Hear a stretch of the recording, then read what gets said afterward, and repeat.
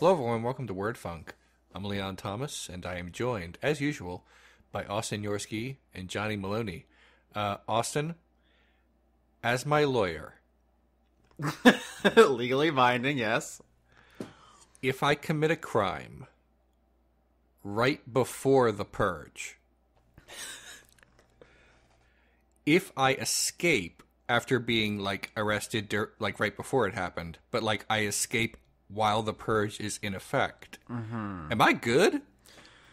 That's a phenomenal question. So I have never seen one of the Purge movies. I've Oh, I've seen all four. God damn. okay, but my understanding is the premise is that all crime is legal during the Purge. Now, what be, Which something being- includes, I just want to be clear here, food safety violations in any restaurants in the neighborhood. So if you've ever wanted Yeah. to take a piss in the Lobster Bisque, do it during the purge, baby. Can't do nothing. Mm-hmm. But my understanding is, while all crime is legal during the purge, the actual implementation is that no cr- no laws are enforced during the purge, which is actually technically something else. But whatever, that's that that's just the you know the movie. So the point is that there are no there are no conse- there are no legal consequences to things you do during the purge. Uh huh. But my other understanding is the like the socioeconomic underpinnings of the film universe. Yeah. Is that it's really about uh, punishing poor people. um, yeah, yeah. The the uh, the social commentary of the all four purge movies is basically that rich people are bad and they want to murder us, Mm-hmm. and that's that's what that's what the movies are more or less about. It's more complicated than that. Yeah. but I thi- Isn't feel like it that's more enough. rich people are bad and they want poor people to murder other poor people? Well, that, well, some well sometimes the rich people do actively get involved Hmm. in the murdering, but yeah, pr- predominantly the biggest of the rich people want to sit at the sidelines and just hope that like population gets thinned out and various other bad, evil, uh, snidely whiplash, mustache twirly kind of things. Mm-hmm. And I say this like as if this is such an over the top scenario, and it is, but like, um, it it the movies do tap into a kind of um apathy that where where like that the rich like just do not care what happens uh, to the lives of poor people. Um, and I like I watch these movies and they're very over the top and Which blunt. one is your favorite? That's a great question. I think the third is my favorite, but they're all just okay. like, like, none of them, none of them are like great movies. The first one, I guess, is the weakest. Um, they don't really get into a lot Because it's But, not um, about the purge; it's a home invasion movie, right? Yeah, it's it's, It's, mostly Panic a home Room invasion. Too. Yeah. It's a home invasion movie with just uh, a little bit of the. Uh, there's no world building. The world building is happening outside of the house, but you're in the house the whole time. Whereas the next three movies, there's a lot more world building. Um, I'm giving these movies way too much credit. Leon, But, as um, outside counsel, as a consultant, Uh-huh. I'm going to say that if you commit the crime before the purge, you're still on the hook for it. What I was Yeah, going to say is that it depends on your socioeconomic status. If you're rich, it doesn't matter. If you, Yeah, that's true. But but but my, my if if the purge were fair, and it's not, and Oh, it's not real, and it's not real. Um, but if the purge were real and it were uh, fair, I would think that I would still suffer the consequences of any actions I did before the purge, even if I escaped. But but Mm-hmm. I think I couldn't. I think we could possibly expunge your record uh, from resisting arrest, though. Yeah, that's the, that's what I'm trying to say. Like like if I'm arrested during like right before the purge, like whatever I did, like I don't know, I I punched uh, an old lady. Uh, it doesn't matter. Um, uh, that would be still I'd be still on the hook for that even after the 12 hours of the purge. But if I escape during the purge, they can't arrest me for escaping. They could only like say, "Ah, get back here for punching the old lady." But that other thing, I guess you got you got away with that. Um, so anyway, they wouldn't they wouldn't be trying to apprehend you during the purge because there's no enforcement. No, no. my thing, but No, no, they're not going to apprehend, rap, try to apprehend me during the purge, but after it's done, the police are going to go buck So, wild. so that would definitely be a great pull me time back. to get your fuck on. is Because you know you're going to jail, right? Like, Yeah, is there it's ever bad. a plot point in any of the purge movies that after the purge is over, they try to prosecute people, I presumably poor people, for crimes they did during the purge and claim they were before or after? That has not happened yet. Uh-huh. Um, there's a lot of like we need just we need to just wait this out kind of stuff that happens during the purge. But like there there's no like one week later and this happened. We only really see the direct aftermath of the purge in the purge movies, like the most recent purge movie that I just saw the other day. Um, we get like the few, few hours before the purge and then the purge and then like the 10 minutes immediately afterward. Yeah. Um, So what you're telling me is, is when we inevitably get the Purge television series, yeah. it's going to be like it's happening. 12 episodes of just boring regular drama, and then episode 13, everybody just goes nuts. No, I don't if they actually made a purge TV show, there it would be alternating timelines. Like the every episode would have parts in the purge and also before and probably after. Austin, are you like you, you keep saying this like hypothetically? Are you unaware of the fact that there is a Purge television series? Uh, I was, yeah. Yeah. Oh no, there is. They made a Purge television series, and it debuts in September. Oh, okay, so it's not out yet. Okay. No, yeah, it it, it exists. Like, it just hasn't existed in, in my eyeballs yet. I was making Um, a joke. yeah. Okay, so last thing on the purge. It's nice, it's nice to know that I have my fingers on the pulse of people who demand to be taken seriously. Um, but earlier, Leon, you said something like, "Oh, it's very, it's very silly," but it is kind of just uh, the praxis of the actual real ideology of Yeah. the, you know, especially American uh, conservative thought that like demographics is destiny, and we need to thin the herd of the Browns, and we need to, you know, about the the quiverful movement. Have you ever talked about this fucking thing? oh thing? God. Oh There's- my God. there's white people who like their entire belief is they should have as many kids as possible because that's how democracy works. It's fucking terrifying. It's I I don't even know if I recommend googling it because it's like oh cultists exist. Like, Yeah. you know, like from like H.P. Lovecraft, but in real. Um, so like, it's not actually that far off, except for the fact that I, my understanding, once again, I haven't seen the movies, is that the people in the Purge movies didn't have to be like coerced into doing it so much until uh, is that the, the, this new one's Well, about? well, okay, okay. The the fourth movie is the prequel. Yeah. And the in the fourth movie, we learn that the first purge, they basically, in order for this to get off the ground, they paid a lot of um, basically poor people to Mm-hmm. participate in the purge and to stay like in Staten Island where it was going to be tested um, for the first time. And anyone who didn't want to be part of it could just leave. But everyone who wanted to stay would be given like a cash incentive. Yeah, So, so, like, th- that's what I thought from the commercials was basically they had to like prime the pump of this by making it. Yeah, so this reminds me of the very real thing, which was uh, the in the American War on Drugs in the '80s. The CIA flooded poor communities with crack cocaine, uh, so that they would basically be able to in- mass incarcerate all of them, and also drug wars would have them all kill each other. That sounds like a conspiracy theory. It's just literally true. Like yeah. it the the documents are out there.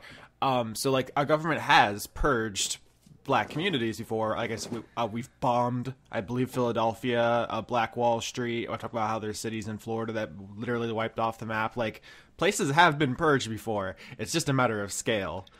Yeah. So anyway, wow, Eh, nine minutes on the purge, boys, in 2018. Yeah, I mean they're still doing them. Like they're, there's the fourth one just got released, and I just had to see it. And the the TV series starts uh, in a couple months, and one assumes that if the TV series hits, that there will be even more purging uh, going forward. Um, we'll see. Uh, they're not like Does any okay? So I don't know if we ever talked about this. I just brought it up, and I'm just really interested in if you guys have heard about this. It seems like it should be a bigger deal, but do you guys know that in the 70s, uh, the or I think it was this no, it was the 80s, uh, that the city of Philadelphia dropped bombs on its black communities, like bombs. it sounds like the kind of thing you've told me about before, but refresh my memory. I mean that that's really it. There was When you, just when you say um, they dropped bombs, Mm-hmm. do you mean like like legit like Air Force? um, let me National try to find. Guard was like boom, or did like somebody just walk in with a briefcase and you know leave it somewhere unsupervised, as they Um, say?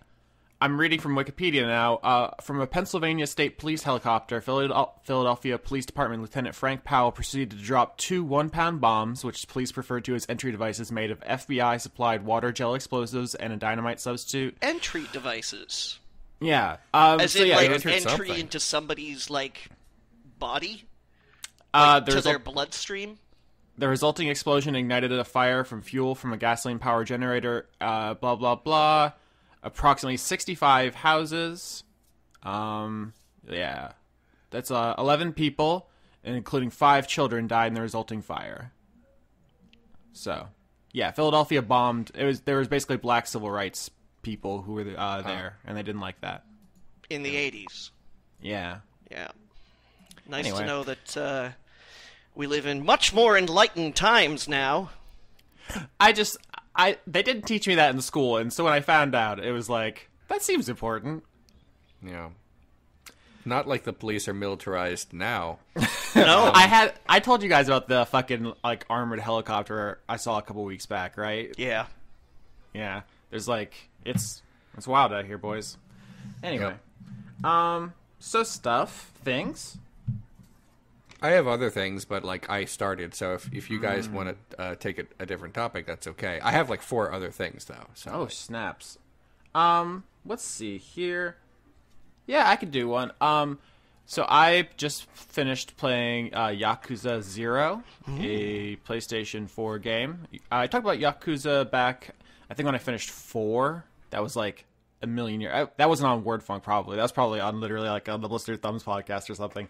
Um that's how long ago it was. But the Yakuza series which started um on the PlayStation 2 in like the mid 2000s is like low key one of the most interesting like major franchises any publisher has. And it's coming to PC. Yeah, I, I think the timeline that we we entered the dark timeline when Grand Theft Auto became the it game and nobody played Grand and nobody played Yakuza. Um, they're not exactly alike, right? Like obviously, Grand Theft Auto has a lot more car stuff and guns. Yakuza, as the name implies, is about the Japanese mafia, and since guns are illegal in Japan, it's mostly fist fighting. Um, but the the similarities are pretty obvious. The the crime stuff, the the open world stuff, the meticulously recreated cities, uh, and The, Yakuza's the just- side activities. yeah, Yakuza's just so so much fucking better. Um, you can just spend like dozens of hours just do just doing shit in the cities without even touching the main story. And I think when I talked about Yakuza Four, I said like, oh, this is this is the first video game series that has performances. Like the people in it are acting like noticeably the way actors do, and that's not true anymore, obviously, because like The Last of Us and uh, you know the Tomb Raiders and stuff. Like we have the Detroit becoming human. yeah, like people are giving performances now, but like back in like the PlayStation 2 era, like it just wasn't how games were made, and they were at, they were trying, right? Obviously, the localization was a bit rough. The series has a history of uh, there's like several novels worth of text in every game, so there's a lot of mistakes in there, but they're doing their best. Anyway, uh, Yakuza Zero, the one I just played, is a prequel. It's set in the 80s, uh, specifically during a, an enormous boom in the Japanese economy. And so while the game is, yes, about Japanese gangsters punching each other, it's actually about, like, the whole game revolves around this real estate deal and about how this, like, new influx of money has created, like, this, like, wave of viciousness within the Yakuza because there's so much money up for grabs, but at the same time, money doesn't mean anything to anybody. There's, like, literally a couple conversations where someone says, like, man, what even is money? like it's like very um it's very Austin, I guess you could say about that. Uh, there's there's a lot of that shit, but there's also like a there's a whole subplot about like the sentiment of like Chinese immigrants because of all the war crimes Japan did on them, and like there's a lot going on. It's like I, this series has this reputation for being like, oh yeah, it's the one where you can play claw games in an arcade for six hours and then you punch 200 dudes in the head. And it's like, yeah, but actually, I think there's some really legitimate, uh, interesting storytelling going on there, and I, I feel like everybody should be playing these games. Yakuza Zero got the biggest uh, reception of any of them in America. It had like a kind of it, w- it went like low key viral. I think because it came out during a really down period in game releases, so it, it got it sold pretty well, and they're releasing more of them now. Um, the remakes of one and two are coming out. We still haven't got the feudal Japan one, and the uh, I don't think six is out yet, but the, it's coming. Um, but the series is so fucking good. It's so good, and I wish more people played it. I don't love the the, the punching. It's a kind of a spiritual successor to like you know Streets of Rage or Golden Axe, where you just like you know just smash until the person stops moving, which is fine. But uh, it has so many characters and it's plotted like a f- like a film, but not in a way it's like where it's like trying to be Michael Bay. It's trying to be more like The Godfather or something. Just a lot of people in rooms, pregnant pauses while people smoke cigars and you know think to themselves. It's just like it's not like anything else in video games, and it's just really fucking cool. So, so the other one that's that's coming out, uh, Kiwami, is that like is that a Kiwa- remake of the first one? Yeah, the Kiwami, which I don't, I think it means like it doesn't mean remake. I believe it means no, it means it means extreme. Yeah, that's what, that's what I thought. Yeah, it means extreme, but though, if, if the game has Kiwami in it, that's a remake. So there's Kiwami one and Kiwami two, which are remakes of one and two. Right. So this the series goes one, two, three, four, five, six, zero, Kiwami one, Kiwami two, and there's also a a non-canon spin-off called Dead Souls, where Japan gets invaded by zombies. Um, that is not a good game. I reviewed it. I think I gave it like a six or something. The it, the combat is just deeply unfun, but it's funny, and that's the thing that's that's great about these games is they have the tone I love, where it's like joke, joke, joke. Oh God, there's so much blood. Joke, joke, joke, joke. Like in Zero, you help Michael Jackson film the Thriller video because it's the '80s, um, and then you have to. There's a uh, dominatrix who's like too nice to her customers. So you got the teacher to be degrading, and then it's like, oh, my friend is being tortured to death, and I have to watch this eight minute cutscene of this. And then it's like, anyway, so where was I? Oh yeah, there's this guy. He's called the Living Erection because he's horny all the time. um, yeah, it's it's it, the the swings in tone are wild, and I don't know if it's because of my mental health issues or what, but it's it appeals to me in such a deep way. um, and it also doesn't really do that prequel thing where it's like we don't have a story we want to tell. We just kind of want to give backstory to the things that are already in the series. You know, like the Star Wars prequel stuff, where it's like, oh, we had to know that. Um, there's just a little bit of that. Mostly, it's really about this real estate deal and about how Japan's culture was shaped by this this economic boom and just that just what you know greed does to people and stuff. So yeah, there's a little bit of it, but like you don't actually see all that much of the transformation of the characters um, to, to, some people's disappointment. I think one of the most famous characters in the series is uh, this guy named Majima, who goes around in like a snake uh, skin jacket and just beats the fuck out of people with baseball bats. Wait, wait, wait, like- wait. Yeah. Does he wear a snake skin jacket because it's a symbol of his Uh, yeah, we're gonna do the Nick Cage. individuality and belief Yeah, in per- yeah. freedom of personal choice? Uh, so I thought there was literally going to be a scene where he like at a very important moment he finds it and he says something shit like that and it's like oh that's where he got it from. But like no. Like at, at the very end of the game like literally I think it might be during the credits or just before he like he does get one but it's not a plot point. It doesn't it's not dramatic. He's just wearing it. So it, it doesn't do that stuff where it's like oh that's where he got the jacket from.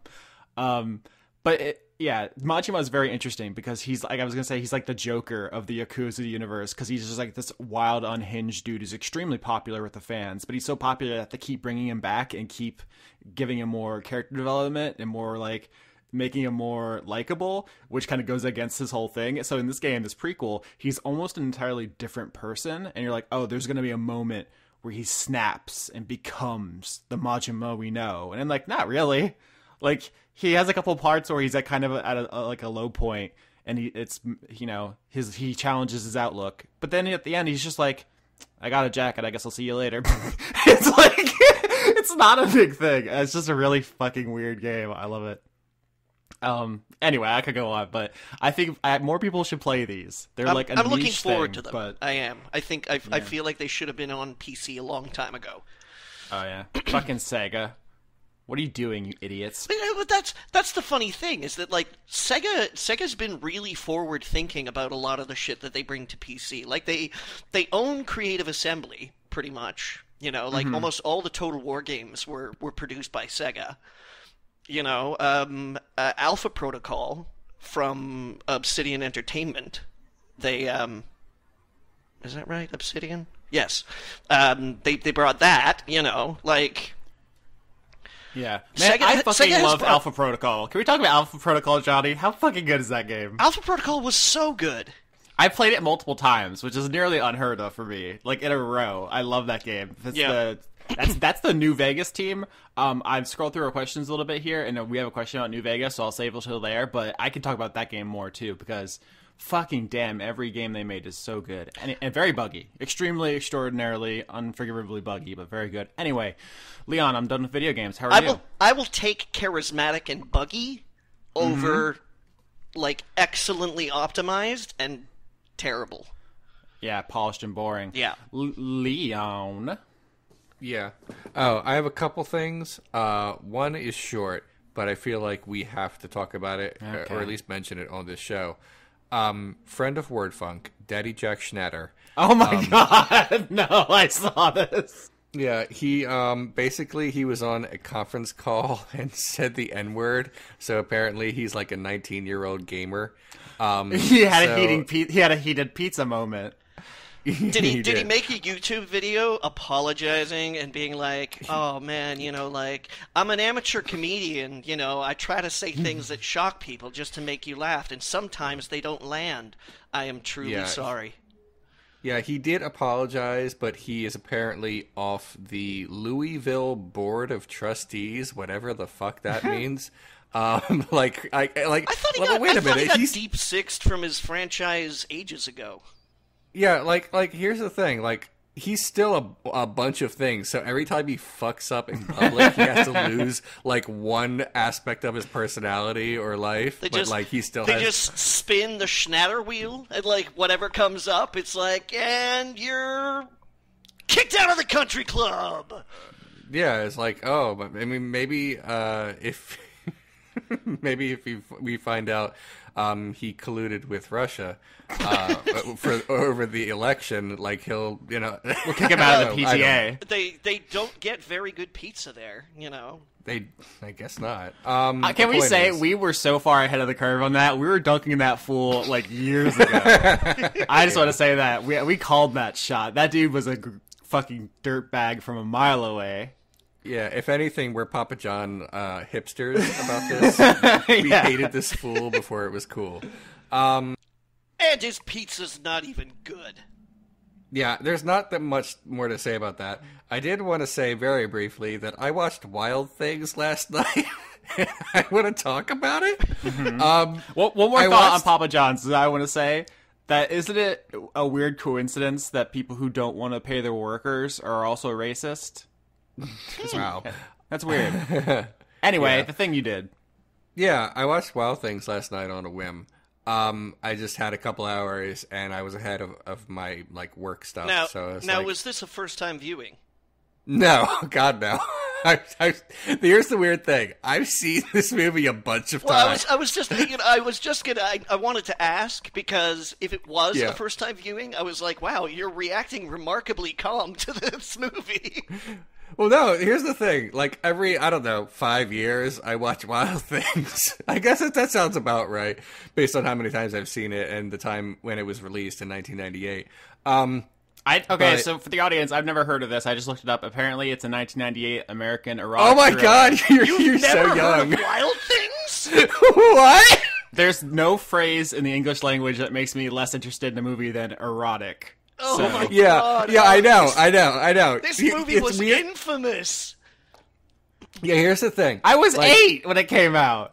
Anyway, No, I understand. And listen, you know me. Like the idea that I'm sitting here watching an erotic thriller is is very unusual. But here's the thing about this: there's two reasons to watch this more than once. Uh, like I guess every five years, which is what I do. Um, no, I don't mean like I time it. By the way, I, it's not like bring a dude where it it has to happen. it is I the just- night. The ritual must commence. right. I just mean that that's probably about how long it is bef- between viewings. But anyway, um, there's two reasons to watch this more than once. One is it's actually really funny. it's actually a really funny movie.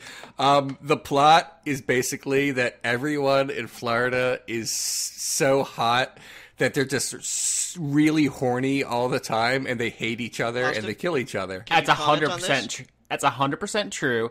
In fact, Yeah. um, I, there's a long persisting rumor that Florida State University has its own strain of, I believe, I believe it's her, uh, herpes or syphilis, Mm-hmm. but like we're just ridiculously horny. Like it's Yeah. preposterous. the amount of Hypothetical horniness. question: Yeah. Does the hotness of the denizens of Florida remain as hot if they move to other states? I wouldn't know. The other good reason to watch Wild Things is there's like seven twists in the movie. And they're all ridiculous. I can never remember how it ends. So every five years, I'm like, what happened in Wild Things? and I just watch it. I'm like, oh. Um, and each time there's a twist, I'm like, right, now I remember. But it's not, it's not, these twists don't always make sense, and that's fine. But the the world is so ridiculous, like built around it, that it just kind of makes sense every time there's like a betrayal or something. Um, for for anyone who wants to know like the real plot of of the of the movie, because apparently Austin has never even heard of this. Before before you go on, I just want to say that it's like it's either remarkable, like like a total genius move, or just idiot savant work to make a movie that's so forgettably charismatic that people forget what's going on and then are like, I think I have to watch that again. Yeah, I, I don't I don't know if they plan to make it good. I just but it, it, it has stuck with me. I just can't ever remember the details. All right, but since run, I just run watched it down for us, Leon. Give us the plot Since I- synopsis for Wild Things. since I just watched it last night, it's fresh in my mind, and hopefully I will get most of this right. Um, I haven't fucking so, seen it for years, so don't look at me. Okay, Matt Matt Dillon is is like a high school guidance counselor, and um, Denise Richards is uh, a student at his high school, and she wants to fuck him, and then it seems like she does, but then she accuses him of rape, and then Neve Campbell is also a student at high school, and she accuses him of rape, and we're like, oh well, I mean they're both doing it, so obviously that is what happened. But I mean, spoilers for Wild Things. Um, what happens is it turns out seemingly that uh, the two w- girls colluded with each other to defame this man. And then you're like oh the movie's over isn't it? But no! Um, this movie has like not a very good 3x structure. There's just like vignettes and one after another. But then we find out that what actually happened was that the three of them were working on this together so they could sue the mother of the richest girl that he did not rape. And then they have a three-way and I and at the time this was like a big deal because it's like we're we're seeing like like a lot of girls kissing each other woo in a movie. it's like it was the 90s and there just weren't that many erotic thrillers. It was like when everybody Um, got really excited about Tattoo. Do you guys remember t.A.T.u.? Yeah. Wow, they kiss kind of on stage. And then one of them turned out to be homophobic, which was weird. Yeah. Yeah. Yeah, it's a whole thing.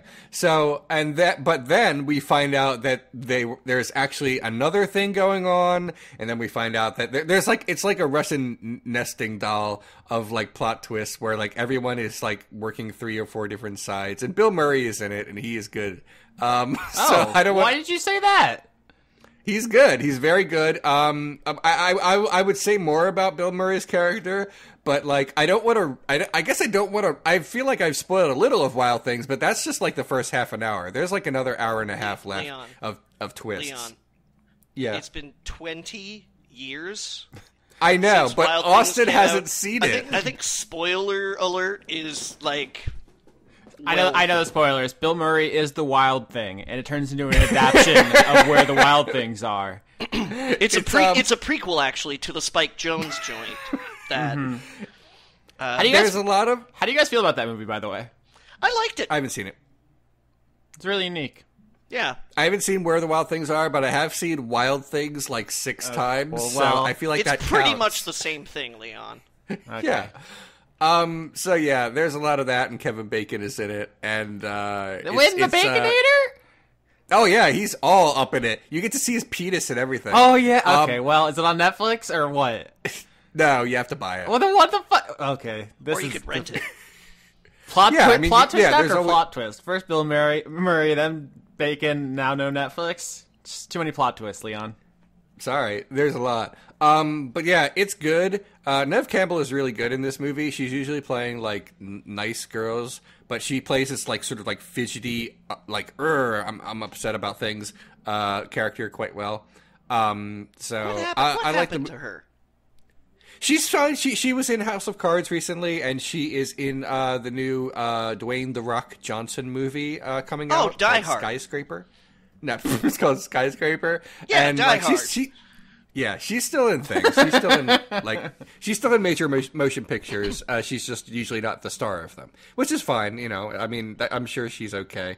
Uh, Good for Yeah, good that's for it. you, That's it. Ms. That's- Campbell. Yeah, she did all right. Um, yeah, that's all I have to say about Wild Things. I could go on about the sex scenes, but it would just be weird. It would be extremely I want weird. details.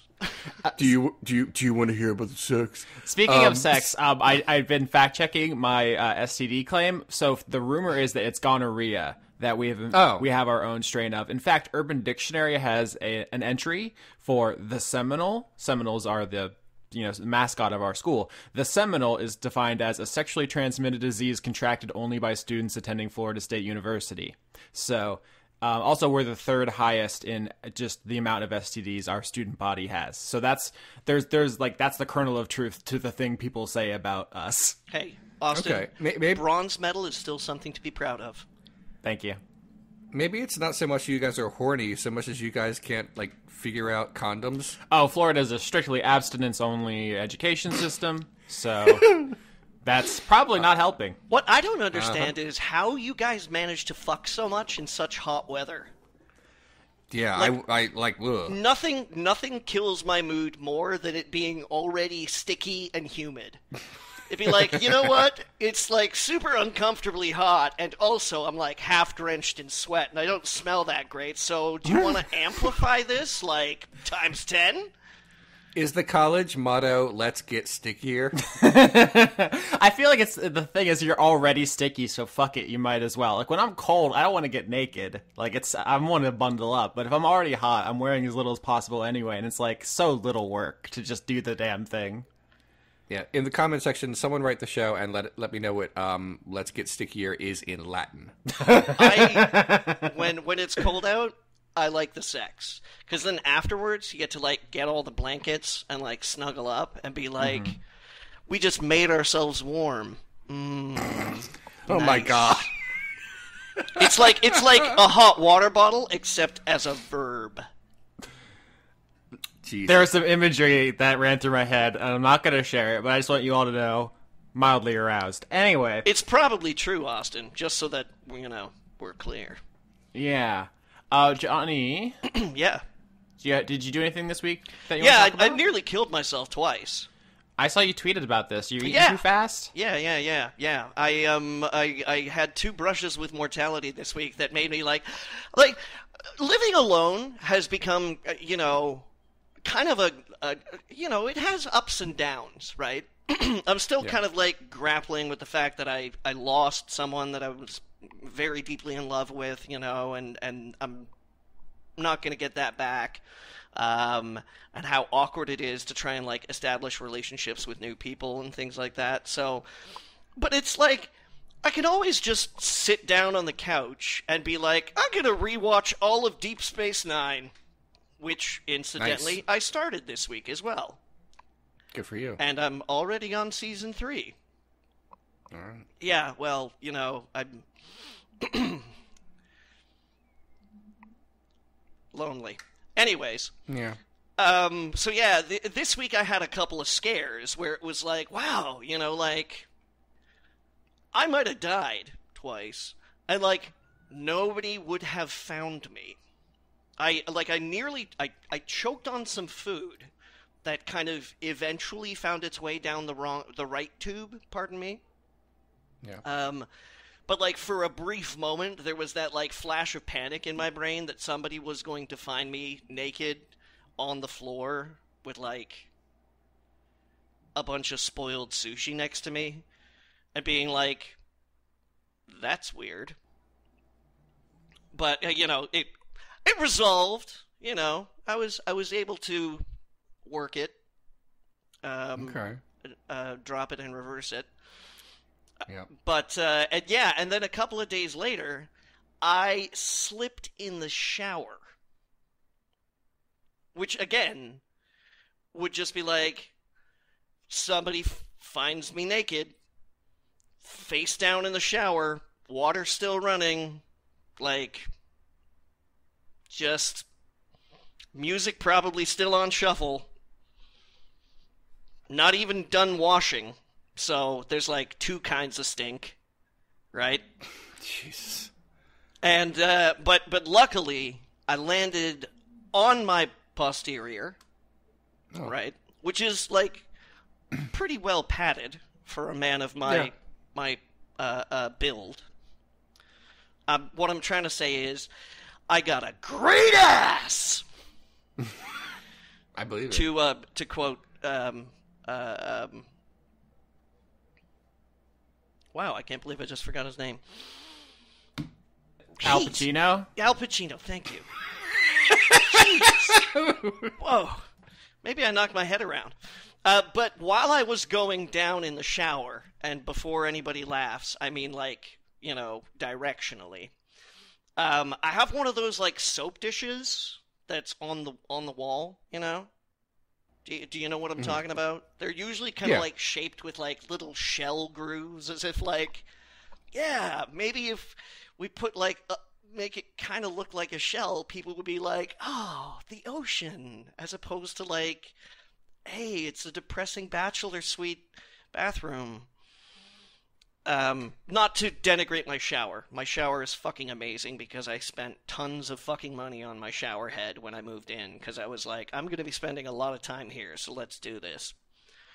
Um, yeah, and I, I caught this soap dish that is attached to the wall uh, from my lower back to just above my shoulder blade.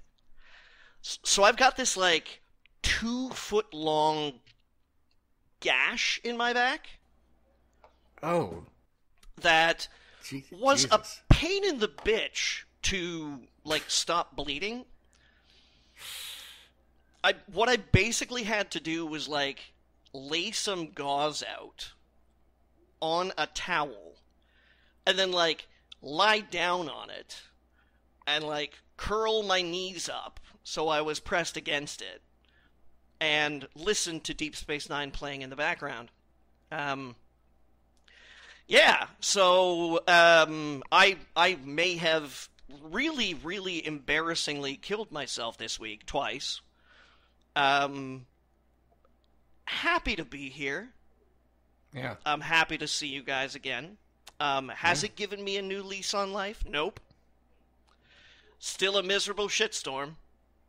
Uh, still not happy with just about everything that's going on in the world, and uh, now I just have a really long cut to show for it. I'm sorry to hear that. Well, you know, Um. these things happen. But I don't I don't want to die alone. Unless I do it on my own terms, you know? Like riding a motorcycle into the Grand Canyon. Yeah. Okay. Or like, you know, skydiving into the meteor crater in Arizona. I have a couple comments. Um, one, uh, excellent way to watch Deep Space Nine. Uh, uh, so there's that. Yep. Um, like presenting to it. Um, so there, Pretty you much. got that yeah. going on. Yep. Yep. Yeah. Second, why are you Odo naked all the? all those shapes. Yeah. Um. Second, why are you naked all the time? Because I know why I am, but like you just said, you were like eating naked. Yep. Uh, also. Yep, I was eating naked. Neat. Yeah. You just are you just into it, or is there a, whether there a story? I'm into it.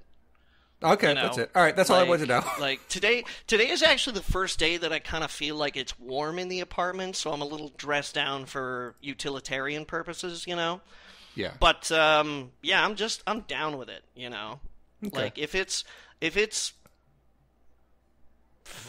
I'm I'm not even gonna say if it's comfortable, you know, even like a little Yeah. cool comfortable, clothes are coming off. That's it. Yeah, that's fair.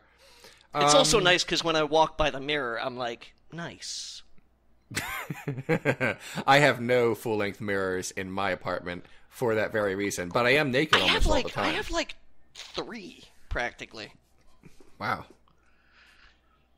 Not that like I bought three full length mirrors, but like you know, It's like this is gonna be the one f- that I look at the backside, and this is gonna be the one for the front. like you know, I have I have one that's my closet door in my bedroom, and then I've got another one that's uh, that leads to like where my washer and dryer is because I have a washer and dryer in suite because I'm a baller like that.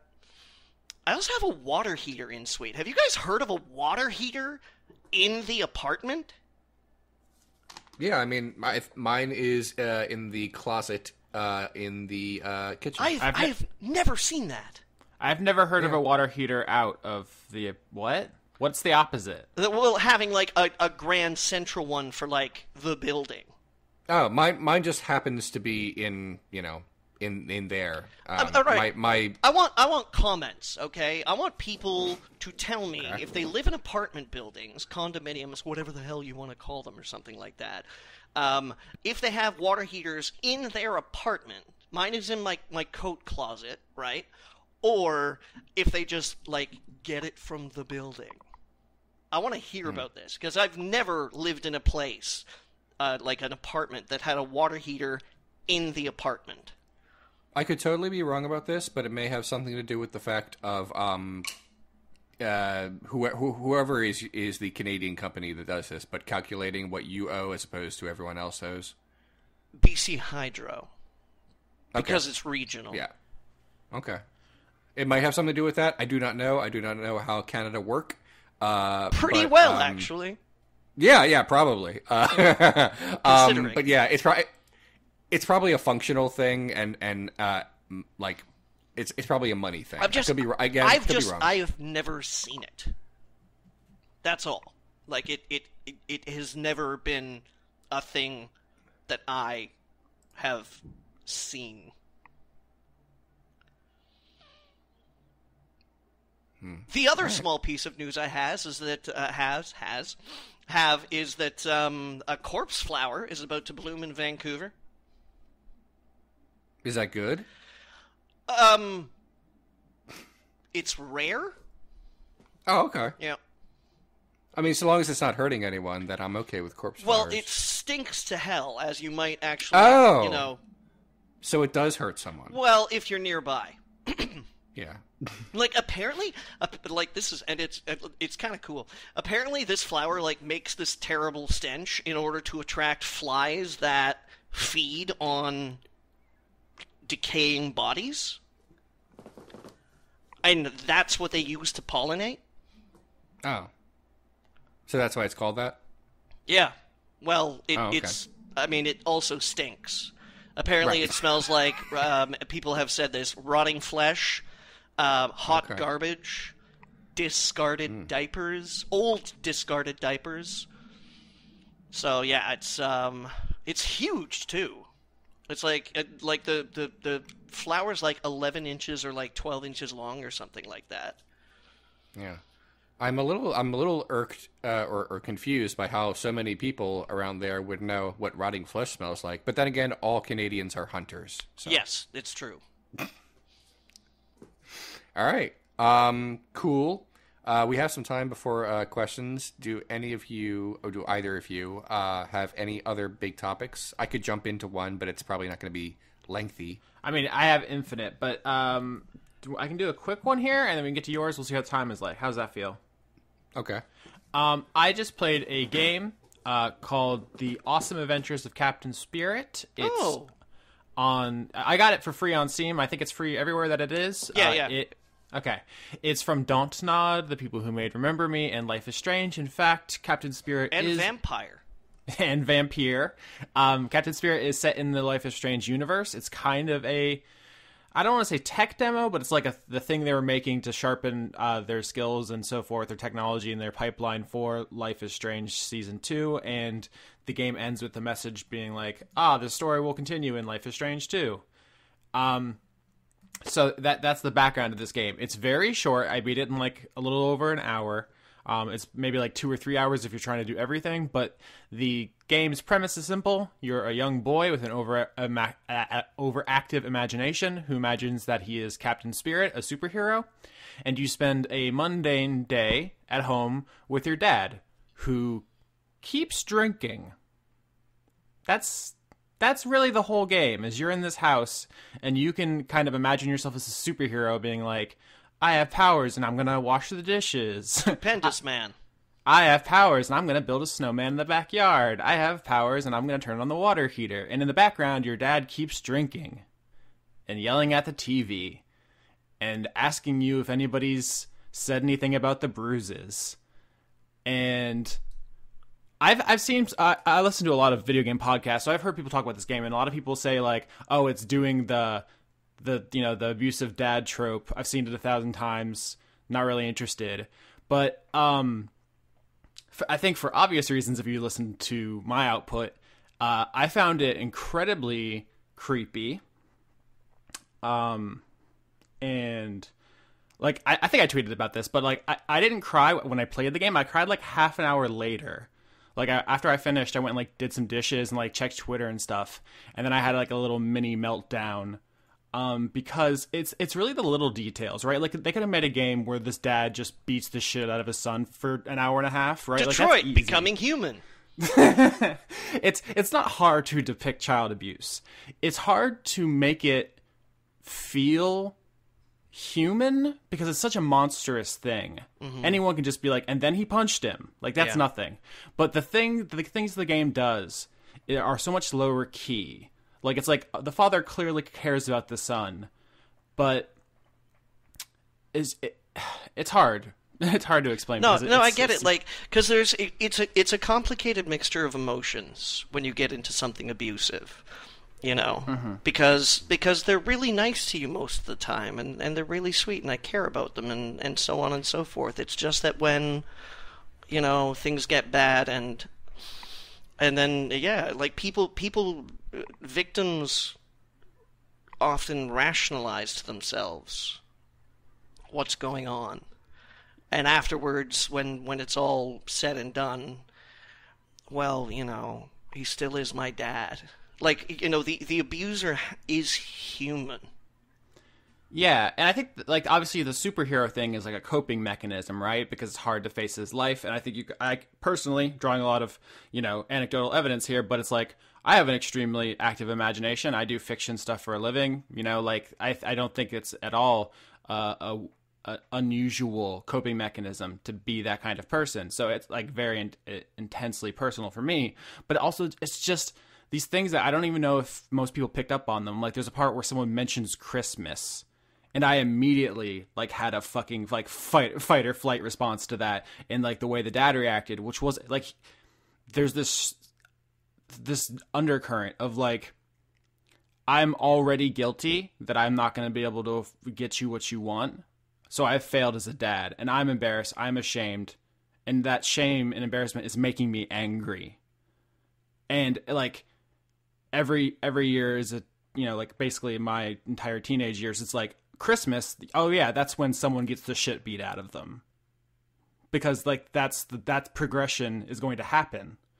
Because like it, it doesn't you didn't do anything but the situation it creates like anger it's like this whole thing. And like that stuff and it's like oh the yelling at the tv like i i i have a hard hard hard time watching sports with people who yell at the tv right? It's like a thing for me. And it's like this in there. So, um, that yeah, I don't know. I don't know if any, everybody can appreciate it. My understanding is like the game has uh, largely been written off by a lot of people. Like they play it and they're like, oh, I see what they're doing, and they just move on.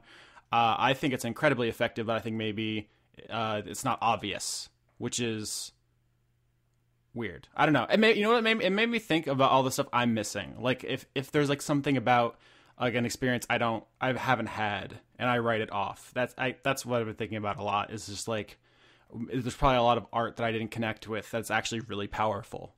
Uh, so, um, I kind of lost my train there. Leon, are you back? Oh, I lost Leon. I, I, I am returned. I'll turn off my thing here. I, I basically just wanted like a few minutes where I had my AC on. Um, Um, how was the last episode uh, for everyone uh, sonically with all the fireworks and stuff? Did that go over well? I, I got rid of it. Oh. I got I got rid of nearly all of the fireworks, uh, except except for when I'm talking, uh, and I just couldn't. Mm-hmm. Um, but it's like, it's it was manageable. Okay, so yeah, Yeah. Uh, that heroic effort by Leon to salvage that uh, is this whole summer is going to be very difficult. The, the heat Yeah. is killing all of us. So Yeah, I'm doing okay. yeah, I'm- Sure. fuck off, Canada. yeah. I'm going. I'm actually going to Canada later this month, so I'm I'm looking forward it, to it being a few degrees um, better or, or cooler. Is that is that Con Bravo you're going to? That yeah, that would be Con Bravo. Uh, so I'm looking forward to that. Um, I did want to talk about one thing real quick but before we go into questions. Um, the Indiana Jones movie uh, has been pushed back another year, so it's not going to happen until 2021. And I'm okay waiting a while for movies because there's always a bunch of other movies that I could be watching in the meantime. No, there That aren't. is not a There's going to be no movies till 2021. that, that's the, but that's the thing. There's like I, I don't mind that it's going to No, be Leon, all the than- old movies are going away. Haven't you heard? They're, they're going Christ. to Okay. The point is this i don't that part doesn't bother me but also like harrison ford tiktok um i'm sorry but he's gonna be 79 uh when that movie debuts which means he'll either be so old that you won't believe him as an action hero or he might not i'm, I'm not trying to be morbid but he he flies planes a lot Is Um, first of all, is Shia LaBeouf coming back? I have no idea. All we know is that Steven Spielberg is directing it, and Harrison Ford has says he's in it, and that it's coming out in 2021, and the writers cannot figure out what to do. You know What? who I you know who I thought would have been way better in that role as Indiana Jones' son? Jake Gyllenhaal. Sure. Also a good a- Um, a good actor, which helps. Yes.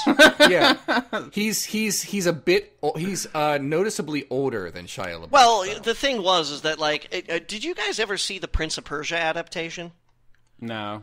Not like not the greatest video game to movie adaptation, but it was serviceable.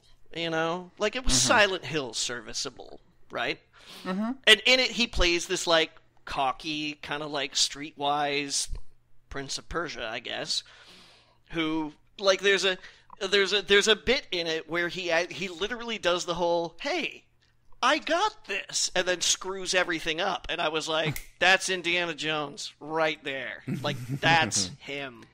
How wild Yeah. is it that when a woman turns like 30, they can't do leading roles anymore, but when a man turns Yeah. 70, they're like, yeah, he's the premier action star of our age. yeah, uh, Stallone and Schwarzenegger are still uh, doing action movies. Schwarzenegger is going to be in the next Terminator movie. Uh, it's all bullshit. I did look it up, by the way. I was curious. Uh, Jake Gyllenhaal is five years older than Shia LaBeouf, but also like Shia LaBeouf has like little boy face, um, so he could play a little younger. Whereas Jake Gyllenhaal looks like he's a guy in his thirties. Shia LaBeouf also has saying racist stuff. Yeah, but I'm. I'm I'm talking Yeah. about I'm talking about when Crystal Skull came out.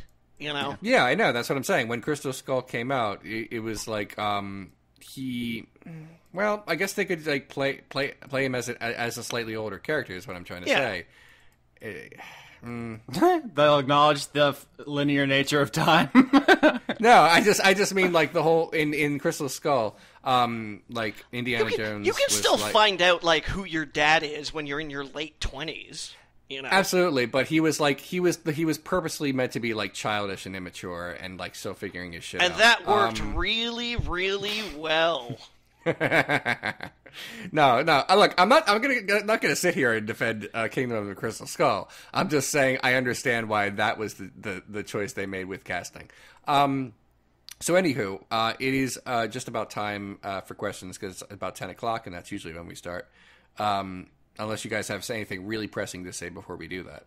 um, let me see. I, I I have played more stuff. We can do it next week. Not, n none of it's time sensitive. Um, Just uh, give me a rundown of some names. Um, I played Rhyme, R I M E. Um, I played uh, the Ratchet and Clank remake. That was a while ago, but it's on my list here. I played a game called Bound. Um, yeah, and I want to talk about uh, Breath of the Wild. That's what I have on my list here. Okay, all right. Bound was another '90s erotic thriller. Okay, cool. I brought it around. Thank you. I'm Um, learning let's- stuff today, Austin. Yeah. Let's start with questions here. Uh, JJ Hernandez asks, fa- uh, don't take this question lightly. It's important to me personally, okay? Yeah. Can we be serious for a second? All right. Okay. JJ Hernandez asks, favorite dog from fiction? Dogmeat. Damn, got just immediately swished. That's a very good dog. He's a very good dog. I can't think of a whole lot. Uh, one, one, the one comes to mind, but it's not like it's like a it's small. Um, You were gonna say Airbud. part. You were gonna say Airbud. No, no, no, no. It's it's like the most serious dog. Oh. Um, but, it- but it- the Coen brothers presents a most serious dog. no, there's a there's a part in um the the novella of Mice and Men where um uh, Lennie and George come into like the bunks of like uh the, the farm hands, and one of the characters has this very very old dog, and one of the uh, other uh, farm hands convinces him to um the not not uh, the owner of the dog, but to, for someone else to go out back and kill this dog who has been just cannot possibly be enjoying life. And then they go to sleep, and then the guy kills the dog, and then um, the owner of the dog kind of like he's not happy about it, and he says, "I should have killed my own dog," and that's the end of the chapter. And it, it it's it's foreshadowing. Uh, so there's that, but also it's just a really good uh, part of that book. Um, that's not a great answer for this comedy podcast. um, so I'm gonna I'm gonna Google fictional dogs Okay. and find one that's better. Yeah, I mean, you do that. I I also immediately what sprang to mind was a kind of a downer uh, dog too, which is uh, the the coonhounds from where the red fern grows. Uh, Old Dan and Little Ann are the names of those dogs, um, and they were very important to me when I was I was don't younger. think I know those. You never read Where the Red Fern Grows? No, no. Oh my god, it's it's an incredibly powerful book. Um, I I once did a, a blistered thumbs article like the top ten best dogs in video games. I'm very proud of the article, which I I assume exists on the Wayback Machine somewhere. But um, I I went I kind of went hog wild on that topic. Um, what comes to mind from that? Uh, Koromaru from Persona 3, who's based on Hachiko, the real life dog who was like so loyal to his master. He stayed at the train station like every day, even after his like like for decades after his owner died. Are you are you talking about the dog who takes the train to the grave? Um, yeah, I mean, I don't know if he's I don't know if he's there twenty four seven, but they they made a, a statue of him in Japan. He's like okay, no, no, not not Japanese. No, I'm thinking there's an English dog who like Mm-hmm. who takes a train to like visit his master's grave, apparently. Mm. But he's not fictional. Like this, that's a real Yeah. dog. Yeah, the Hachiko is a real dog. Um, I, I try to remember exact the exact story, but the dog was just like stayed every day waiting for uh, his late owner, and it was like just you know national like thing. Because I don't want to generalize, but it's like obviously loyalty is a much uh, a very important part. Of, Does you know, dog culture? from Half Life Two count? Um, yes, he's a He's good pretty- boy. He's a pretty good boy. He's a good boy. I got I got another one. yeah. Um, th- I went through a list, Mm-hmm. and to me, the most significant to the plot dog to a movie that is not really about dogs Mm-hmm. is Daisy the Beagle from John Wick. Oh, yeah, significant. I guess I don't. I didn't really get a great sense of her personality. Yeah, yeah, it, it- true. Also true, but like that's the one that pops into my head because like the movie happens because of it. So, okay, White Um, God. yeah. Um. Oh, White, White God was a pretty good dog, but like in a very complex way. Johnny, Yeah. you're the Oh best. my God. Um, I was gonna say, uh, fuck, Look, fuck, Austin, fuck. you're the one who keeps saying like overthrow the the system, and this dog fucking did it. But then was Uh, also like, hey, I kind of love you, so I'm gonna leave you alone. Uh, yeah, I, I'm trying to find my list on on the way back machine, but Isabelle from Animal Crossing and um, Missile from Ghost Trick. I think Missile was number one. Uh, Missile is a Pomeranian from the game Ghost Trick, which is a, a visual novel uh, puzzle game by Capcom, and it's extremely good. Um, if you haven't played Ghost Trick, I highly recommend it. It was a Nintendo DS game, very underrated, uh, a phenomenal uh, kind of game about a guy who's uh, a ghost and can possess things to solve puzzles. But the dog in it, Missile, is the best boy who's ever lived. He literally saves the day across the barriers of time and space and love, and he is based on the game director's real dog. Um, he put his he loved his dog so much he made him the hero of his video game. Um, and there's a song about him. Um, it's on YouTube. I'm trying to. I, I I'll leave a link in the chat. I don't know if you want to put it in like the show notes or something. But there's a song about this dog that he's so beloved.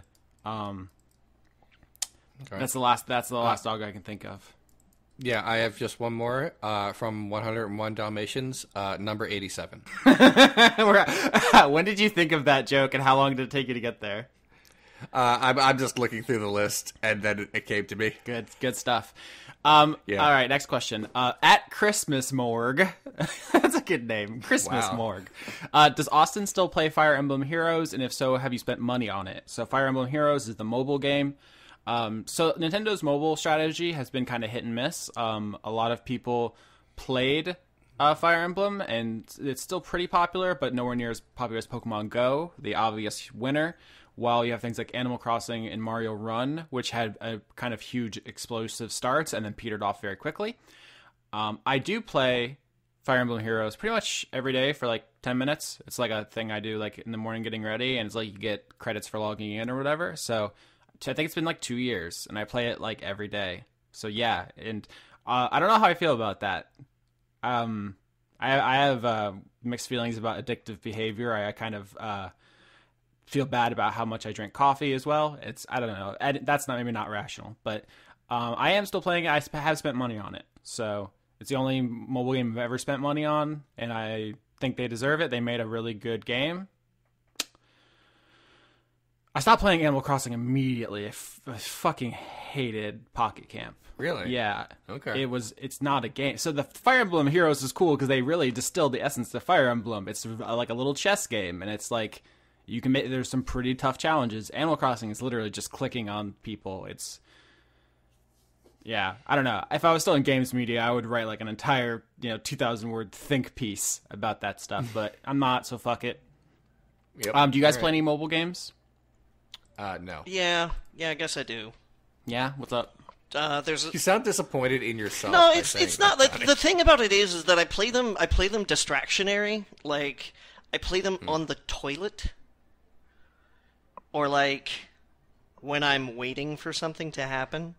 You know, there's a there's a Star Trek game I play. I think it's called Timelines, and then there's a a, a Marvel game that's just like one of those match three fucking bejeweled games. When you said when you said we play it while waiting for something to happen, it made me think of like a millennial waiting for Godot, where they never talk to each other. All they do is play mobile games.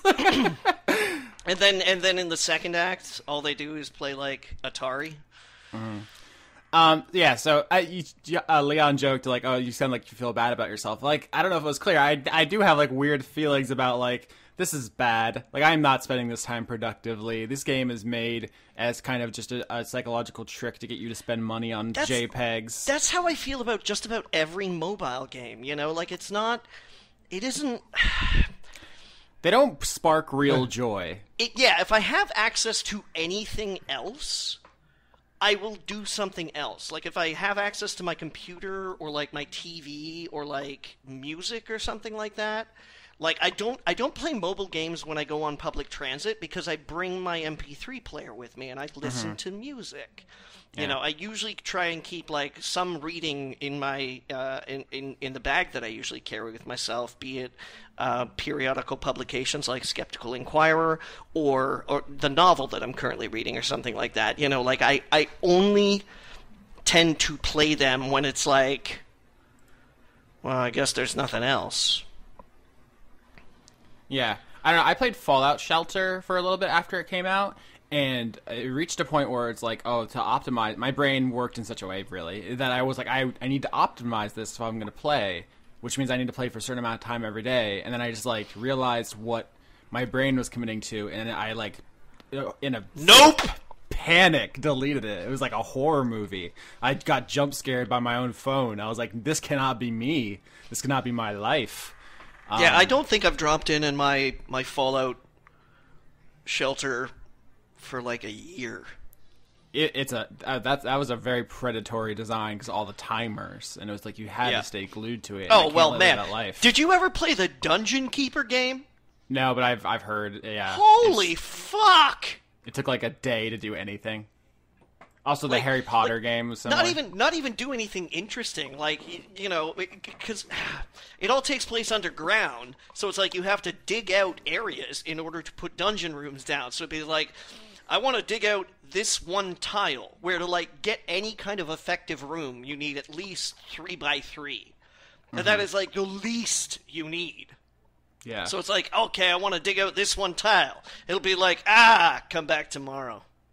It's, So it was, it was literally like a one click a day game, pretty much. that, that's not even like good predatory design, right? Like, there's a way to do it. Like Pokemon Go is a, a good example of being like, we want you to spend money, but we're going to ease you there with free content or whatever. Like that's mm-hmm. just like they gave up the game immediately. It's not even good form. It's the slow it's the slow ramp. You need someone to take you by the hand and be like, No, it's gonna be great. Look at this, I've got you a milkshake. Hey, why don't you go ahead and take that? After you've done that, I've got some bacon wrapped scallops right here. If you just well just put them off to the side right there, you can take them when you want. Yeah. With with Fire Emblem, you get orbs for logging in. So I, I literally don't have to play it to get rewarded. I could just click on the button on my phone and I'll get it. I do play it though because it's a good game. But yeah, yeah. There's a there's a way to do it that it's not gross. I just I I mm, I don't like mobile games. There What's- there are good games that are on mobile. Yeah. But they're not good mobile games. Yeah, yeah, it's true. That's a weird distinction, but yeah. I don't. Um, I don't enjoy uh, like worse than mobile games. I don't enjoy advertisements for mobile games. I feel like I see them only on YouTube, really, where it's like no context army men fighting. Yeah, or just like you know, a bunch of jets show up and shoot at each other, and it's like Warface. Yeah, that's a real. The thing is that the fake name you made up is that a real game by No, I, I know it's I, I know it's a real game. In the middle Okay. of saying it, I was like, ah, shit. so what I should have what I should have said was like war tonsils. yeah. because that's really that's that's really what the gaming space is right now is you know just pick two things and cram them together and be like deadly eyelash Sometimes I think about the time I said on this podcast, "Killzone Shadowfall," and Leon dissolved in laughter. Like, it's, that was a very good moment. Um. Yeah. All right, next question. Uh, Cyretha asks, Leon, what should the WWE do with Tyler Breeze now that Fandango is out to injury for the next six months? Parentheses. austin one two three Wrestling. we didn't do it. It's hard to do this over Skype. It's fine. Um, so uh, yeah, uh, basically, um, uh, Fandango, who is great, uh, is injured, which is not, and uh, his tag team partner, get uh, well Tyler Breeze- fandango yeah. I Um, Tyler Breeze he is a very good worker and a very good talker, and he's very charismatic, and he's over, and he's wonderful, and he has very, very good boots. Um, but I, what I want from him is for someone to just pull the trigger and say, "Screw it, let's just push a new guy." Uh, that we've had on the roster for a while instead of like the latest our latest acquisition or the people we've been pushing for the last 10 years because there's this thing where um they bring someone in new to the company and says we're going to try it with this guy and then they try it with this guy. Or they keep uh, focus on um, some of the people who have been there forever. But there's also these people who have been there forever and they just don't do ever do anything significant with them. And that's tyler breeze. Um, and uh, basically last year he and fandango were doing these really cool skits and for like a few weeks it was the best thing in the company. And then wwe just stopped because they're dumb and now they were just treading water for a while, and now half of the tag team is injured. Um, what I want is for uh, someone to just say, um, "This is one of our most talented guys on the roster. Let's just try to make him into a thing. Uh, we can do it. All we have to do is make him win matches, and people will uh, start to get behind him again." Uh, they did it with the B team recently, and now everyone loves the B team. There were like these nobodies, these jobbers who have been there uh, in WWE for years and years and years, and they hadn't really done anything significant with them. And then they just decided to give them a new name and have them uh, win and hug each other when they win, and now everyone loves them. You can do that with him too. Frankly, Tyler Breeze is better than both of these two guys, the the B team. Even though I like the B team, so just uh, go with it. Um, what I think they'll actually do, oh i'll think they'll it. Yeah, I think what they'll actually do is is put him in a tag team with like Chad Gable because he's not really doing anything right now. Who is also a really talented Okay, wait, guy. is that his real name? Yep. I'm almost positive. Let me double check that. Uh, I think he uses his real name because he was like uh, an Olympian before, and they usually use like their. I they- mean, they I, I know that you know that the WWE sometimes dabbles in real identities. Yeah, they use they, like Kurt Angle is his name is Kurt Angle. Oh, you know what? I'm super wrong. I'm sorry. I'm dumb. Uh, no, uh, Chad Gable is not his real name. His real name is Charles Betts. Okay, Um, that's that's okay. That's that's all right. I'm relieved by that. Thank you. Yeah. Because Kurt Angle okay. is bad enough.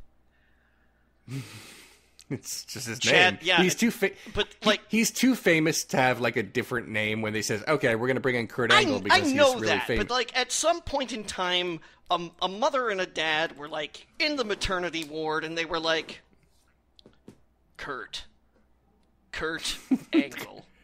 He's not even the only Kurt in the company. Um, there's uh, yeah, there's Curtis Wasn't he an Olympic wrestler first too? Kurt Angle. Yeah, yes, that's what I'm Yeah. saying. Uh, Kurt Angle was the Olympic gold medalist in, in wrestling, Yeah. and and because because he's like a big famous name, they weren't going to bring him into the company, pretend he's someone else, and call him like um gonna- the mute. I'm not like dumping on the guy because he was an Olympian or anything like that, or even Right. he was a, like you know a charismatic presence in the WWE, which I seem to recall he was. But Oh yeah, I'm I'm just like his parents named him Kurt Angle. They didn't. Well, well, in terms of like his last name, they were stuck with that. Um, in terms of his first name, I don't. I've I've never heard anyone have a big problem with the name Kurt. They should have named So him this is like- acute. Ah. Obtuse? So anyway, so anyway, um, yeah. Uh, what I what I th- what I want to happen is for them to pull the trigger on a Tyler Breeze uh, si- um, singles push. What I think will happen is they will uh, pair him up with the other guy who's usually a tag team wrestler but currently isn't now, uh, and that's probably what will happen. Um, yeah, All right. that's it. Uh, question here from Omnilord Integrated at Spatial Shepherd on Twitter. Uh, th- Oh, my. Thoughts I on? like I like yeah? having Omni Lords integrated because like having to outsource that shit is just awful. It's just more efficient. Exactly. Uh, the question is thoughts on Caesar's Legion and complex but irredeemable villains. I alluded to this question earlier, uh, but in Fallout New Vegas, a game which I am still stunned is as good as it is. Um, the main conflict uh, is ma- it, I'm, I'm simplifying, but is between the NCR, the new California California Republic, Republic. and the Caesar's Legion. And the way the game presents it is kind of a good versus evil thing, and you can side with either. And then there's like later you learn there's other choices. Uh, but the, the main like you know the the good guys and the bad guys is these two factions. And one of my only disappointments with New Vegas, besides the bugs, it's still very buggy. Like part of the reason I put it off was I kept thinking like, oh, I'll play it when they patch it. I'll play it when they patch it. When And when did, what did you play it on? PC. Uh, you uh, there are like mods and shit like that that fix those things, dude.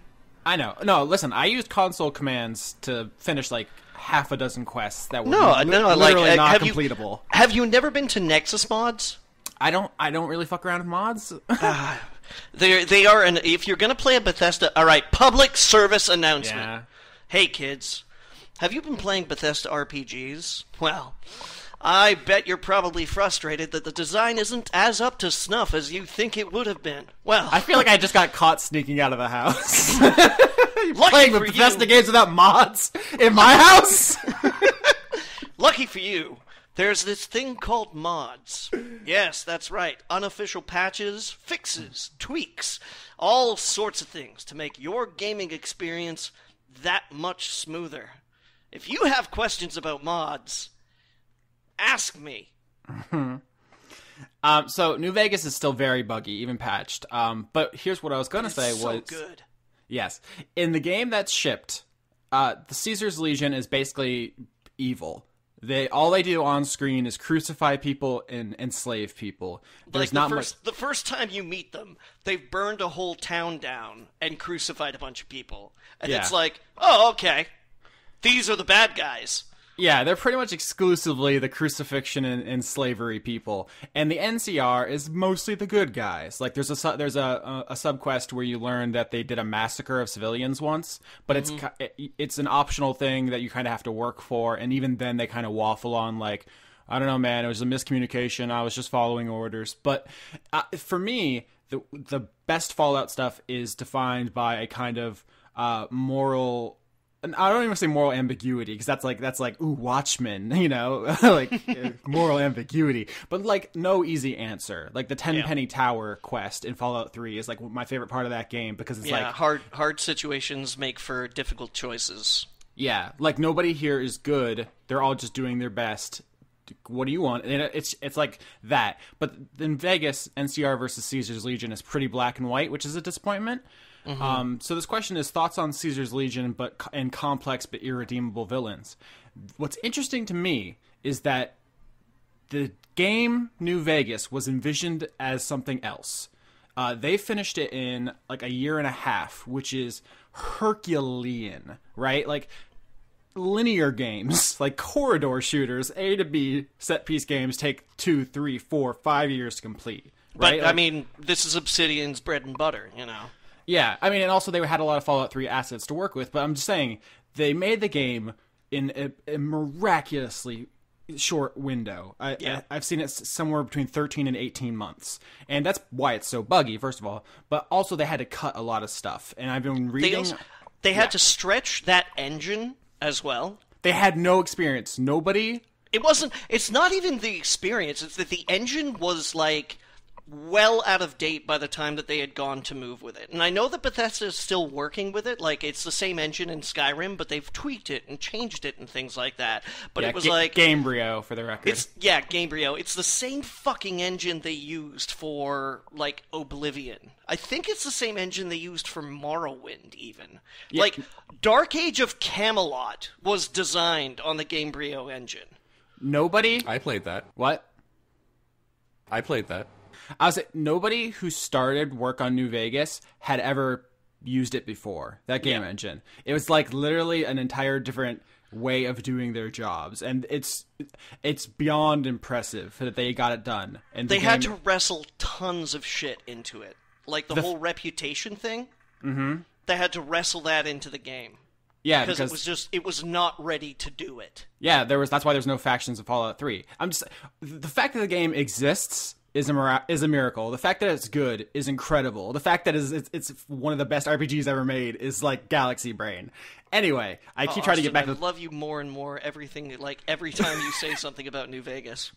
what I was gonna say is I've been doing a lot of research. I've been reading like on the wikis and watching documentaries on YouTube and stuff.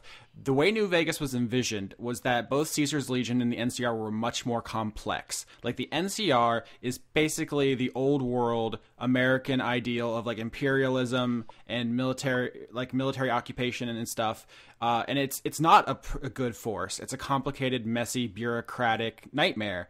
And the Caesar's Legion uh, had a bunch of extra stuff in the game, like ent- entire c- like civilizations and societies you could visit with like civilians and stuff. And it was like their whole thing was, are you willing to trade your freedoms for safety? Right? Like we're we're based on like ancient Rome. It's a strict caste system. Everyone has a place, but we're we're the best and we'll protect you. And it was like actual a, a real choice between these two murky kind of ideologies. And they didn't have time they just didn't have time so they cut out like all of the the Legion civilians all of their non-crucifixion based locations. Um so yeah like there's there's a lot of dialogue in the game files. There's like uh areas that are referenced that don't exist. Um there's like maps and stuff from earlier builds that are are out there that have places that aren't in the game. Um there's a lot of shit. There's an entire um caesar's legion uh companion. Like in the game, you have people who can travel with you, and there's like one person who represents the Brotherhood of Steel. There's one person who represents the NCR. There's one person who's a, one of the zombies, right? But there's no person who likes Caesar's Legion. But there was in, in the original idea, and that character is actually recycled for the DLC. Um, and they have a completely different personality, but they they they represented the the Legion ideology, and we're like going to give flesh that out and stuff. So. New Vegas is phenomenal, but it actually c- could have been even better. It has all this cool That- stuff they were trying. That's the story of every Obsidian RPG, though, pretty Yeah. much.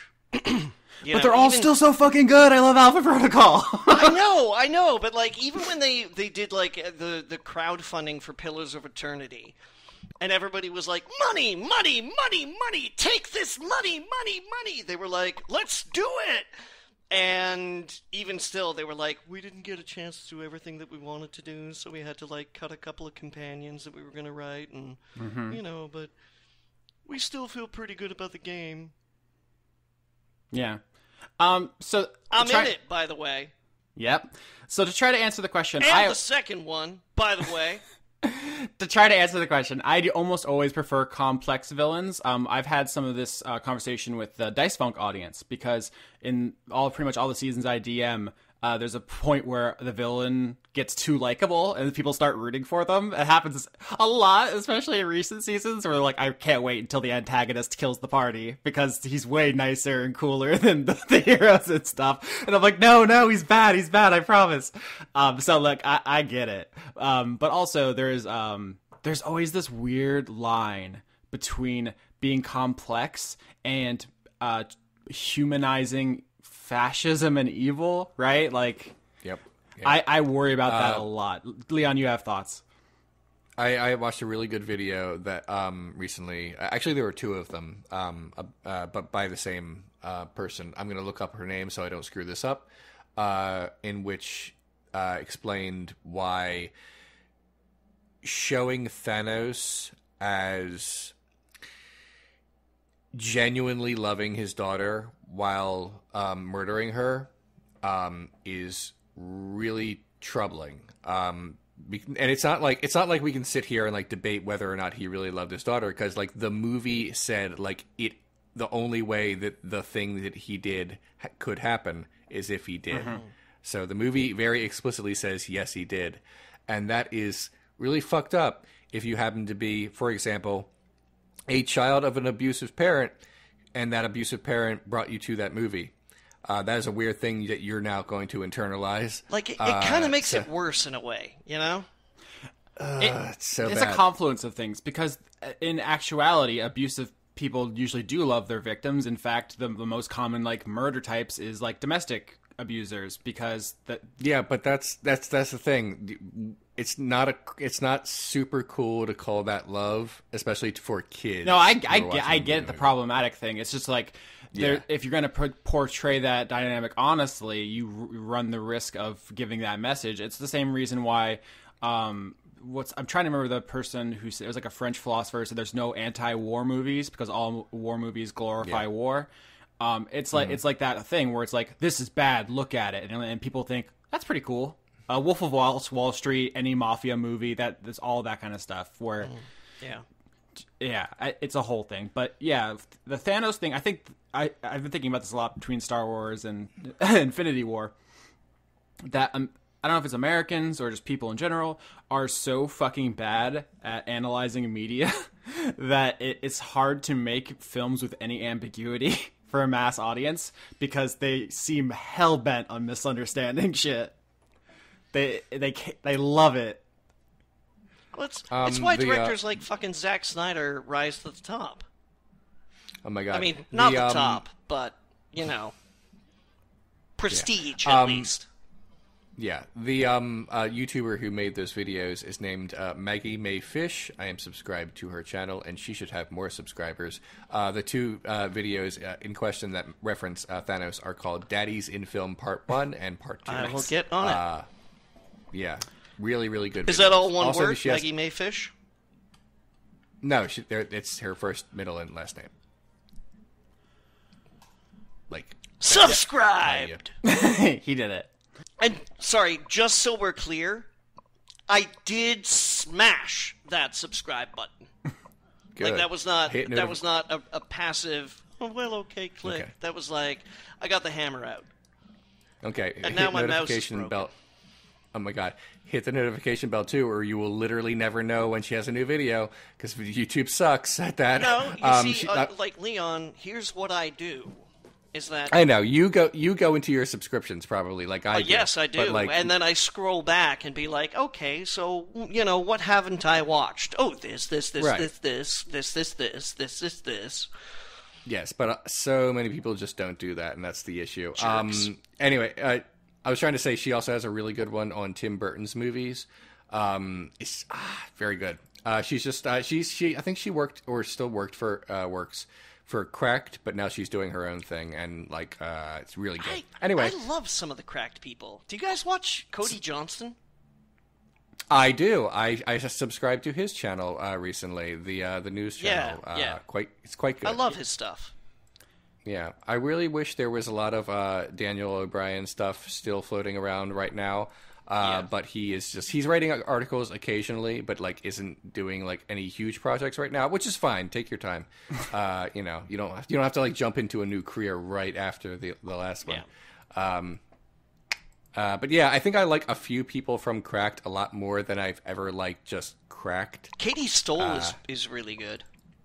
Okay.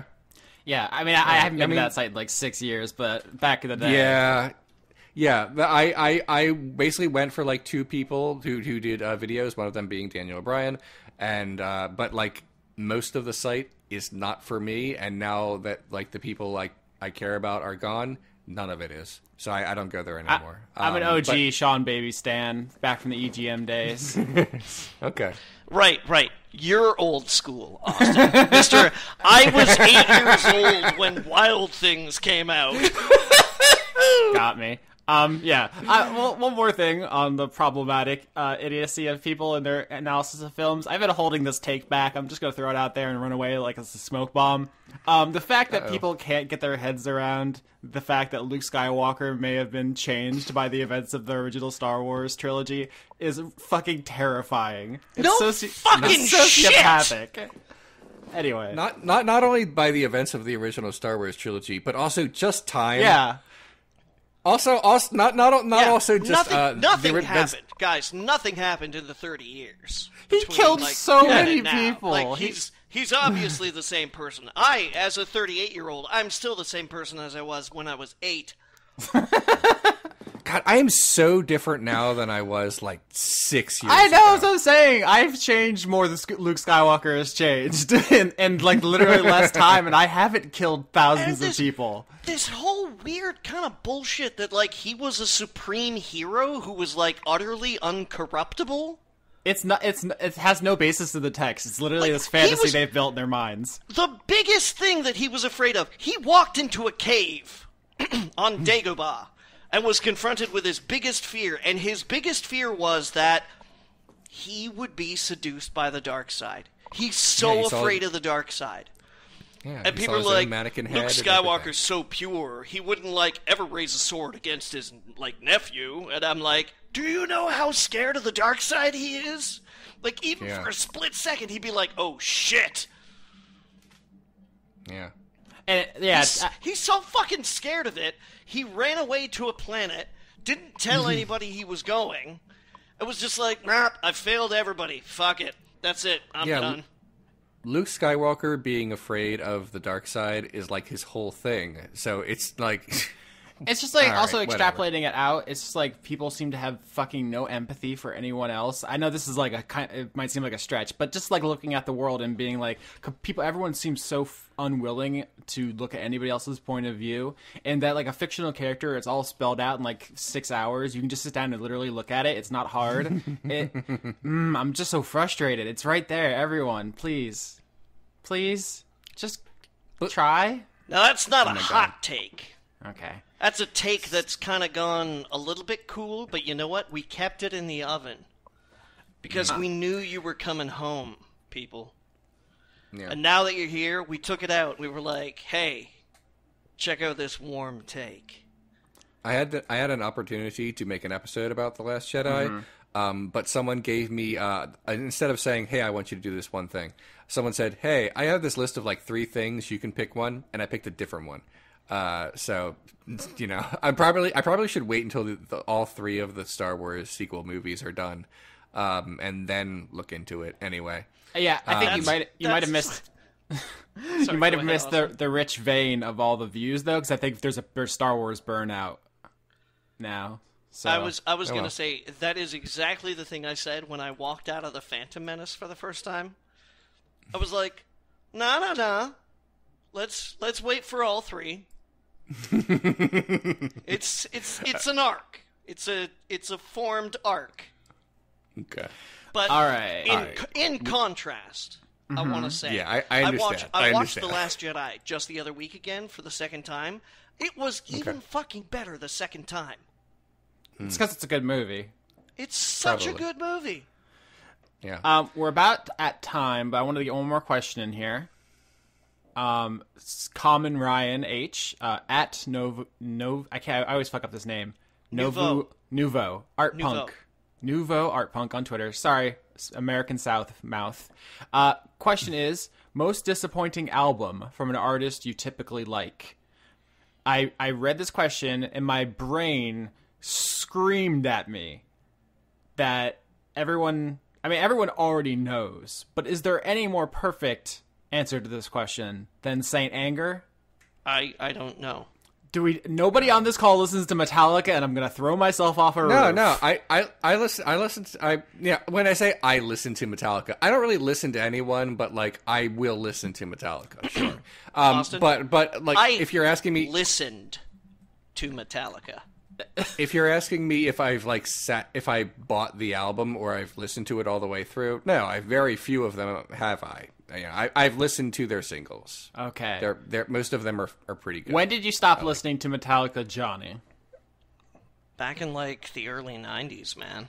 Ooh, okay. I was going to say that Oh. there's a couple different kinds of Metallica fans. There's the Metallica fans who say they peaked with And Justice for All and everything after that was downhill. There are people who say they got off the train around Load Reload because that's when they sold out. Yeah, I'm a- I I was not I was not down with Load Reload. okay. oh, you're one of those. Yeah, uh, I, I I I hung on after that. I'm a St. Anger boy. That's when I, I- realized I had wasted a lot of my life.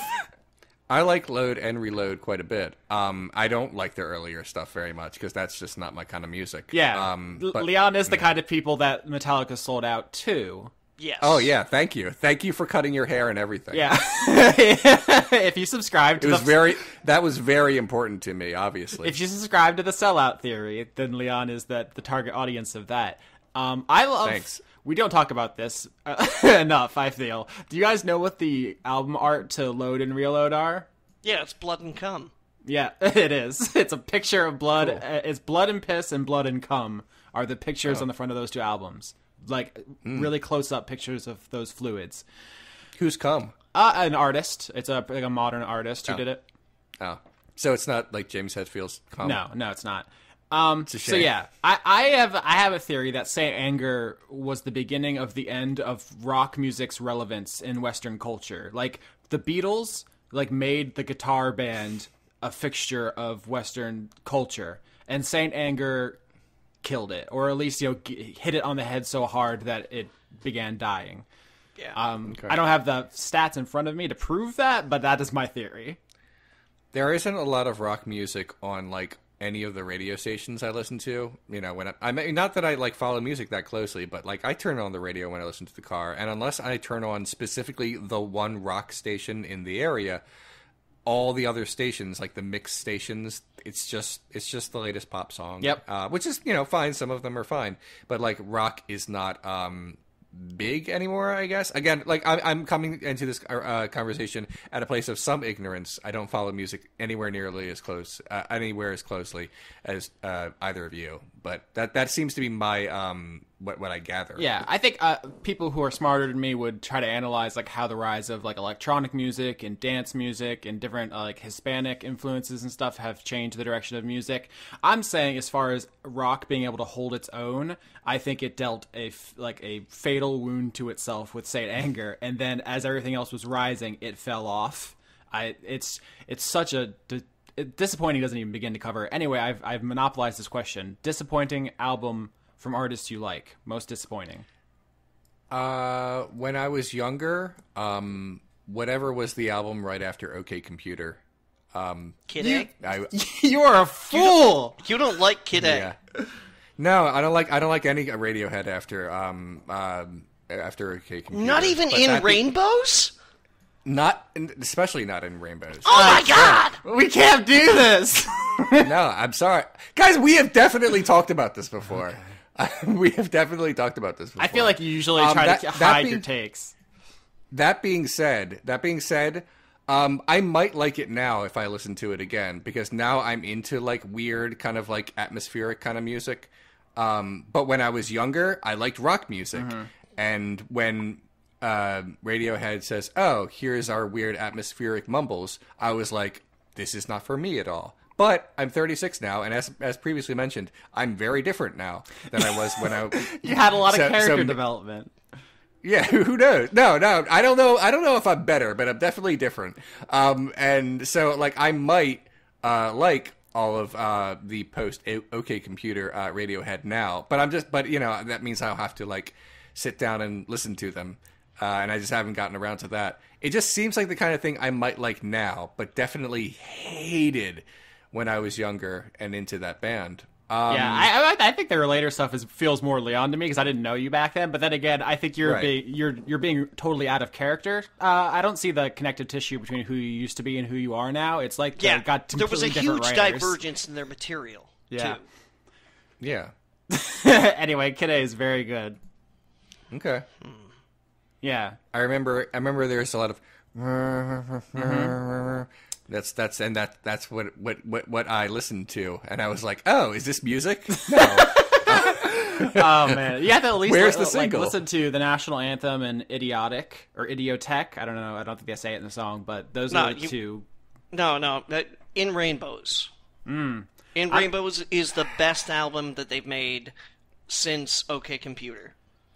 There are theories that it's actually even a, a companion album to OK Computer because, the, like, OK Computer and In Rainbows have the same like letter amounts. People like Radiohead No. fans. Oh my god. I'm, no, I'm dead serious, and they've like arranged like playlists that are complementary and stuff like that. Like you're supposed to listen to them together and things like that. And one's about like the disillusionment of technology, and one's about like rejuvenation in nature. And Johnny, the more you talk about this, the more I'm just seeing that meme of like the brain Yeah. getting glowier and glowier. to no, I'm not. I'm not saying I agree with this, and I'm not saying the band said anything about this. I'm just saying people are like conspiracy. I think Thom Yorke right. would be surprised to hear this. Also, they've those unreleased OK Computer tracks, where they were unreleased until very recently. Uh, they were like, "Oh, this stuff wasn't good enough to make OK Computer the best album of all time," and they're all bangers. They're all bangers. Like what the fuck? How is it possible that they're fucking? Manta Ray? Oh my god! I like that one song uh, that they released uh, recently because of that. Um, I think it's like "I Promise" or something. Yeah, that's a very good song. Yeah. yeah, I like that song. That song sounds like a song. also, Man of War. If you haven't heard it, Oh no, that's Probably not. that's the one I'm thinking of, not Manta Ray, Man of War. Man of War s- Okay. slaps. I I think I'm I'm probably gonna have to go with um, like the only one I can think of right now is "The Hawk Is Howling" by Mogwai. Haven't haven't Like- been. Every single other one of their albums, I just adore front to back. And "The Hawk Is Howling," there's like three songs on it that I'm like, these are great, you know. So yeah, it's it's just it's. I mean, I'm a huge Mogwai fan. I I talked a couple of weeks ago about how important the the Scottish music scene was to me. Um, I- and and yeah, and they were they were really big. I was also thinking for a second there that I was gonna be like make a joke, and be like, yeah. Parachutes by Coldplay. It was the first album I bought by them, and I was just so disappointed I didn't get any others. Jesus. We've been there. Um. So yeah. Episode. Any, thought that went well. Anything you guys want to say? It's time to pack the Supreme Court. Let's leave. I got, I Uh, got something to say. Oh, oh, I'm sorry. Go ahead, Johnny. I keep cutting you off. Go ahead. You two interrupt the fuck out of each other every episode. I I apologize. Go ahead. The first time I laid eyes on Terry Lennox, he was drunk in a Rolls Royce Silver Wraith outside the Terrace of the Dancers. The parking lot attendant had brought the car out, and he was still holding the door open because Terry Lennox's left foot was still dangling outside, as if he'd forgotten he'd had one. He had a lung, young-looking face, but his hair was bone white. You could tell by his eyes that he was plastered to the hairline, but otherwise he looked like any other nice young guy in a dinner jacket who'd been spending too much money in a joint that exists for that purpose and no other. There was a girl beside him, Her hair was a lovely shade of dark red, and she had a distant smile on her lips. And over her shoulders she had a blue mink that almost made the Rolls Royce look like just another automobile. It didn't quite. Nothing can.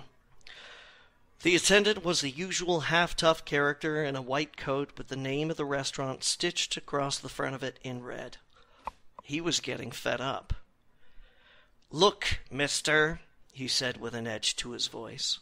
Would you mind a whole lot pulling your leg into the car so I can kinda shut the door? Or should I open it all the way so you can fall out? The girl gave him a look which ought to have stuck at least four inches out of his back, but it didn't bother enough to give him the shakes. At the dancers, they get the sort of people that disillusion you about what a lot of golfing money can do for the personality. A low swung foreign speedster with no top drifted into the parking lot, and a man got out of it and used the dash lighter on a long cigarette. He was wearing a pullover check shirt, yellow slacks, and riding boots. He strolled off, trailing clouds of incense, not even bothering to look towards the Rolls Royce. He probably thought it was corny.